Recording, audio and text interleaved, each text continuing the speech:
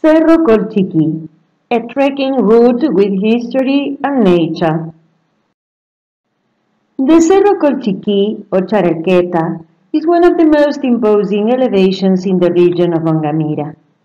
The Sierras Chicas were home of the Ayampitin culture, one of the most ancient in the country, before the Sanavirones and Comechingones. The cerro was originally called Charalqueta to honor the god of joy, but after the tragic outcome suffered by the Comechingon people, it was usually called Colchiqui, so as to invoke the god of sadness.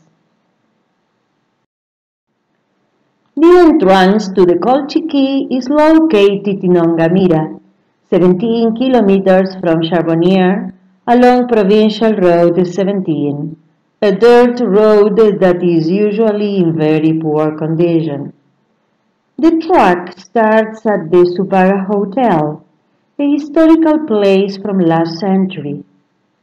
The Colchiqui was sacred to the Comechingon culture and its religious beliefs developed around it. From Agua de Oro you can reach the hotel driving along Provincial Road E53. In Ascochinga, the same road E53 turns into a dirt road. Go on driving along it. You can stop at some quaint spots.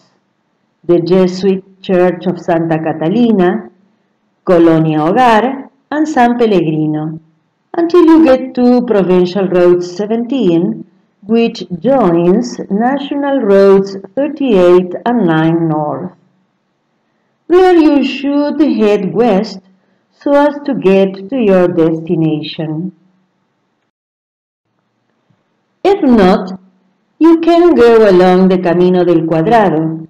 This road goes across the Sierras Chicas from Salsipuedes to La Falda in the Punilla Valley. It is paved and it offers beautiful views of the Sierras. Then take National Road 38 that will lead you to Capilla del Monte. You leave the paved road and along Provincial Road 17 you will travel the last kilometers to the Ongamira Valley. At arriving, you should complete a form so as to be registered and pay a rather cheap ticket. You can not only park the vehicle there, but use the restrooms as well. On site, there is a traditional bar where you can buy some cold drinks. The owners of the Supaga Hotel also own the fields that surround the Colchiqui. In the same place at the Supagas, there is an excavation where many elements of archaeological value were found and you can also have a look at it. From there, the trekking trail runs along a narrow path that takes you to about 1,700 meters and shows you the amazing valley where pine trees, poplars and espinillos grow. The views are very pretty and the path is very well marked with green arrows and apachetas. On its rocky top you can sit down to rest, have lunch and drink water of course. The reddish landscape looks like the one of Los Terrones and of the Cerro Colorado, as they are part of the same geological outcrop.